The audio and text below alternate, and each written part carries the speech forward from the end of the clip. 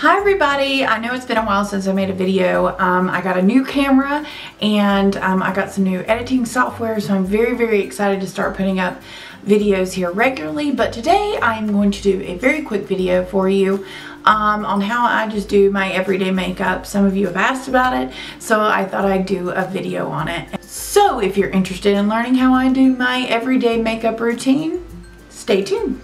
So to get started I'm going to take my foundation and I'm gonna just put it in between my hands and warm it up a little bit and just add that all over my face. Now I typically um, when I do my makeup I pull my hair back with a clip out of the way and um, and I know a lot of people like to use foundation brush but for me the easiest way to put on my foundation is with my hands. I feel like I have more control over it.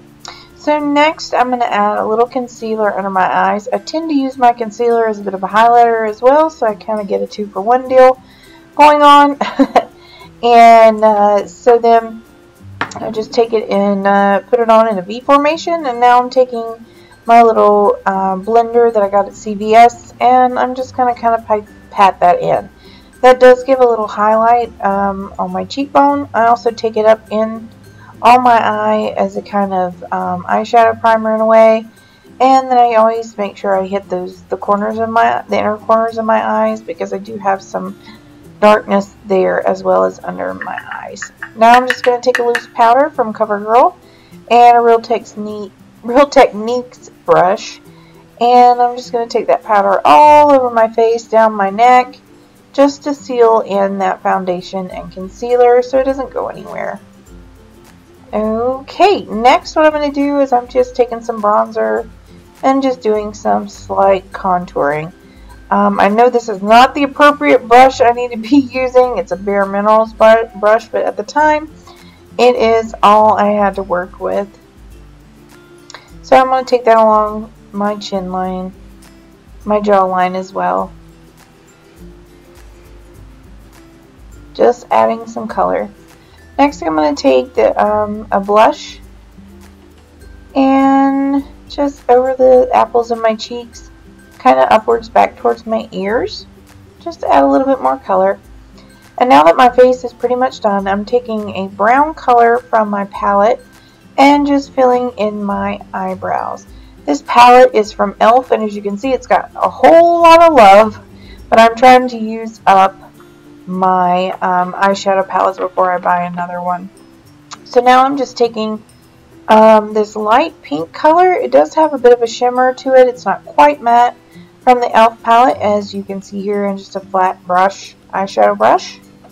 Um, this one I got in an Ipsy bag, and I just love that the color is pink. So now I'm going to take this brush from Crown, and I'm going to use the fluffier end. It is a two in uh, two-ended brush. So I'm just going to take this color, it's kind of taupey, kind of grayish brown, and I'm just going to put that in the crease of my eye and also kind of smoke it out towards the end. There's that color that you see there. Really, really pretty color. This palette has a lot of neutrals. And I believe it came out in a kit that had a bunch of things for fall in it. So I'm not sure if it's still available or not, but definitely check it out. I just love e.l.f.'s eyeshadow palettes. Now I'm going to take a uh, darker color and go in with into my crease with it and then also smoke it out on that outer V. As you can see, it's a darker color. It's kind of a mixture of a dark purple and some browns. Um, and we're just to add some dimension into that crease a little bit and to bring it back into the outer corner of your eye. So now I've got some eyeliner from Maybelline that I'm just adding in. Um, every so often um, I decided to do a little bit of a cat eye, but if we're keeping it basic, um, I just try to do a very thin line as possible and take it out to my outer lash line. So now I've got some mascara from Tarte. I believe this one is Lights Camera Lashes. It's not the flash, or it's either flashes or lashes, one or the other. I have fallen in love with this mascara, so if you're not giving it a try, definitely check it out. It is worth the purchase. So last but not least, I'm going to add a little EOS lip balm. I do tend to do lip liner sometimes with lipstick, but we're just keeping it simple today, folks, and so chapstick is the way to go, and I love EOS. It's either a tie between EOS or Burt's Bees. So here's a close-up of the eyes and the makeup. Ta-da! Thank you guys for watching. I'll see you next time. Bye!